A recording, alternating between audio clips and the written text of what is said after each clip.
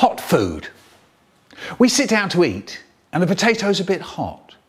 So I only put a little bit on my fork and I blow till it's cool. Hey, hey, what's going on? Why would you want there to be no recap? Yeah, Mephone. That's the recap. You can't just get rid of it. It's not What? wanted this episode. I thought I was doing a pretty good job. Me Oh my phone. God, stop stop it, it, please. Have recap. no, What no, What are you doing? No, What are you, no, no, no, Mephone. What are you doing? Stop! I have a contract. Mephone. No. Ah!